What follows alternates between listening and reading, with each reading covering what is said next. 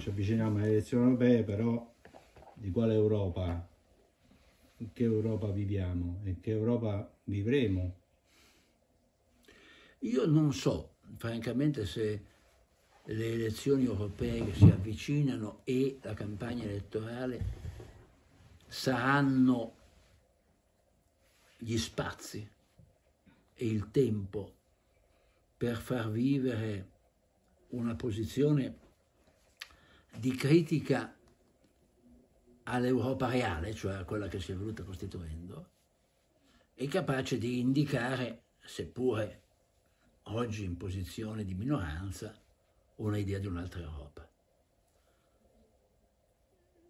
La necessità è evidente. La crisi, la crisi proprio degli, degli equilibri mondiali, la smentita più evidente della tesi apologetica della globalizzazione capitalistica, su tutti i terreni, e fino, a, fino all'altro ieri erano quelli della giustizia sociale, della democrazia, sono diventati quelli della, della contesa tra pace e guerra.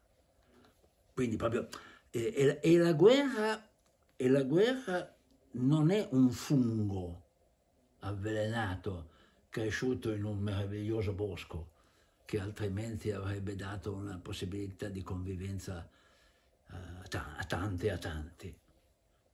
No, eh, in realtà questo capitalismo ha mostrato crescentemente le sue incompatibilità con ciò che avevamo ereditato di meglio dopo la vittoria contro il nazifascismo in Europa, cioè quello che avevamo proprio ereditato e che ha mostrato una incompatibilità con la democrazia, ha mostrato una incompatibilità con la possibilità di declinare il tema della giustizia sociale, che era stato il, grande orizzonte delle Costituzioni democratiche. E adesso mostra un'incompatibilità con la pace. In, questa, in quest, questo capitalismo ha plasmato l'Europa reale. Poi naturalmente possiamo discutere molto, va, va fatto, degli orientamenti politici, delle, della pratica legislativa, della costruzione delle opinioni da parte di quelle che sono diventate le classi dirigenti o almeno i ceti politici dirigenti dell'Europa. Ma la sostanza, diciamo così, è che questa Europa reale ha, è stata proprio, come si può dire, il banco di prova, uno dei banchi di prova, ma è fondamentale, di, questa, di questo costituirsi in istituzione politica del capitalismo finanziario globale. E, e, e, dunque il suo carattere oligarchico è venuto sempre più marcandosi. Naturalmente, insisto, non è un carattere inventato dalla dimensione istituzionale europea è il carattere prodotto dal concerto dei governi nazionali nel processo di costruzione dell'Europa politico-istituzionale. Non è che, eh, che, qualche governo può sottrarsi dicendo ma è l'Europa, no, sei tu che hai fatto questa, questa Europa politica. E, ehm, e questa, questa, questa, condizione oligarchica ha pesato tantissimo in un reciproco scambio con i singoli paesi che, che, diciamo così, hanno influenzato e poi sono stati influenzati da, da questo carattere. In Italia lo vediamo in maniera prorompente, eh? Fino al punto che viene all'ordine del giorno da parte del governo una riforma costituzionale neo-autoritaria che si iscrive però dentro questo, questo processo, prende forza da questo processo. E quindi, diciamo così, quando arrivano i, i, i colpi e i suoni della guerra, questa costruzione si rivela inebetita. Non ha niente, diciamo, non, niente, eh, non dice niente perché non ha niente da dire, perché nel frattempo ha visto morire dentro di sé la politica. E quindi sta sulla, sulla scena come l'asino in mezzo ai suoni, non ha, non ha alcuna capacità di attivare un protagonismo che invece sarebbe, sarebbe necessario. In queste tante linee di faglia che sconvolgono il mondo contemporaneo, una presenza dell'Europa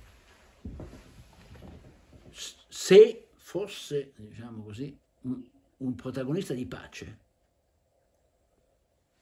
avrebbe la possibilità di rompere quella rottura tra il mondo capitalistico e il sud del mondo, che costituiscono la prima delle linee di faglia di questa realtà, come si vede ormai sistematicamente.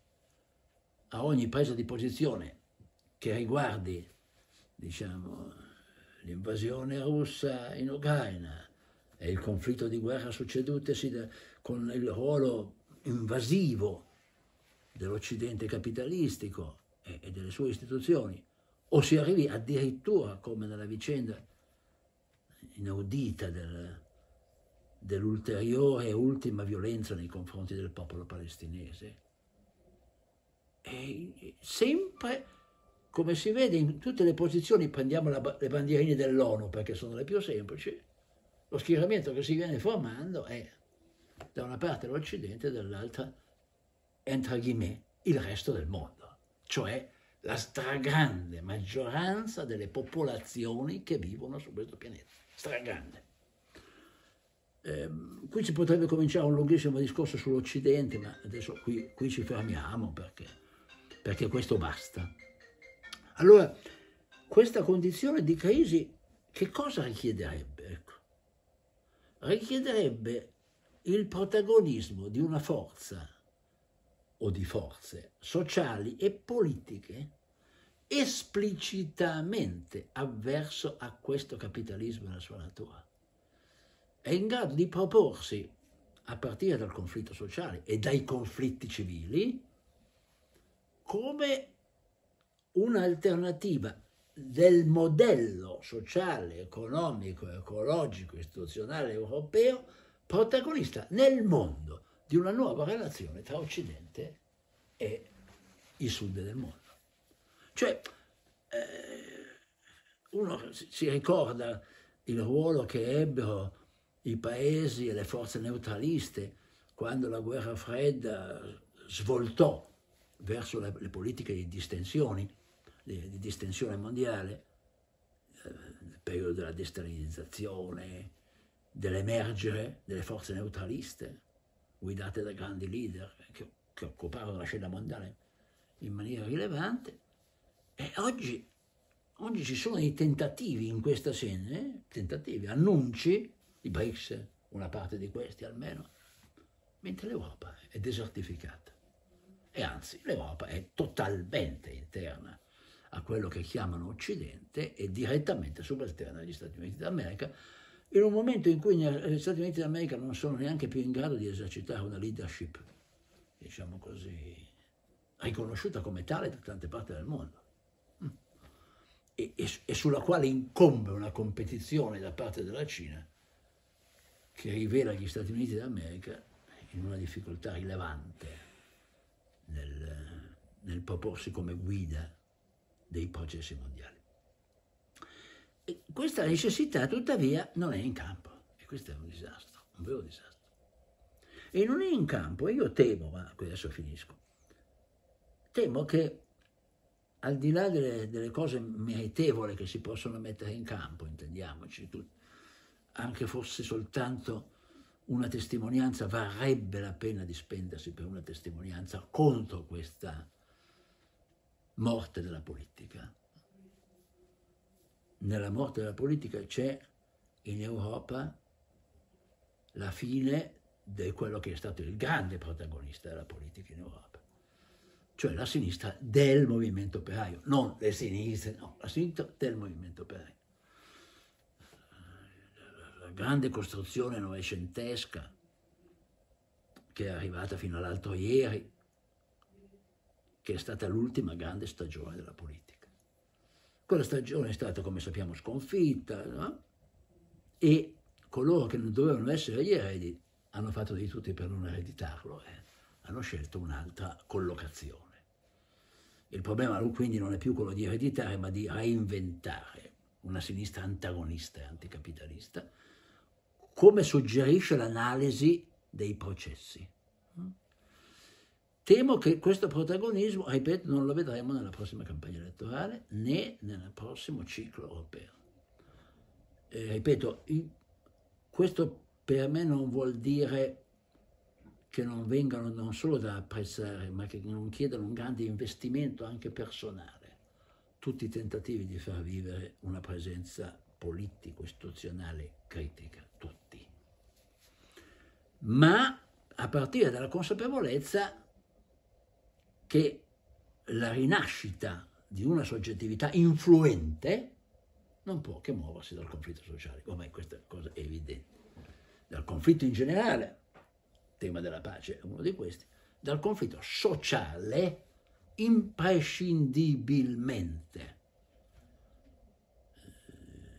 la potenzialità più necessaria ed evidente della ricostruzione. Le femministe hanno usato dei termini utili per capire questa cosa, quella della intersezionalità, e laddove questa intersezionalità ha in qualche modo lavorato, penso agli Stati Uniti d'America, noi abbiamo visto un filo connettivo che, che è andato dai Black Lives Matter a mito del grande protagonismo delle lotte, alla rinascita del conflitto operaio, sindacale e operaio, al centro della produzione automobilistica americana.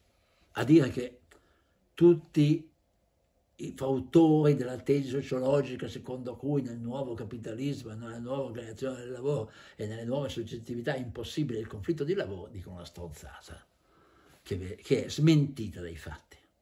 E quindi, qui diciamo così, questa attenzione strategica sulla costruzione del nuovo soggetto secondo me fondamentale. E allora che conflitto c'è sarà in Europa? Appunto, ripeto, a cui non, si deve, non ci si deve sentire condannati di essere spettatori, ma avere però la consapevolezza che non ne siamo protagonisti e che il protagonismo influente va costruito, è quello sostanzialmente tra un, una nuova emersione di una nuova destra, che noi facciamo male a vedere solo sotto l'eredità del, del fascismo, dei neofascismi, e che invece è proprio dire, una pulsione che nasce dentro questo tipo di capitalismo potentissima, che, che in Europa si, si manifesta su un protagonismo che incontra negli altri stati d'America quel fenomeno che chiamiamo Trump. E qui, sai, se uno guarda la Germania gli vengono i brividi, perché perché dette favole narrato, cioè adesso al di là delle forme che prende, è il carattere di una destra reazionaria e di popolo che sta emergendo. E sta emergendo perché c'è un protagonismo, un protagonista nascosto, che ha una radice popolare profondissima e vastissima, che è la diserzione del voto. Eh, il voto europeo, secondo me sarà, segna, sarà segnato da una grande astensione. E questa grande astensione dovrebbe costituire una riflessione profonda sul fare politica, sul come fare politica e a chi indirizzare prevalentemente l'azione politica delle, delle minoranze attive e creative. Perché quella è un, in primo luogo un'area di resistenza alla, alla destra reazionaria che si presenta sul campo elettorale.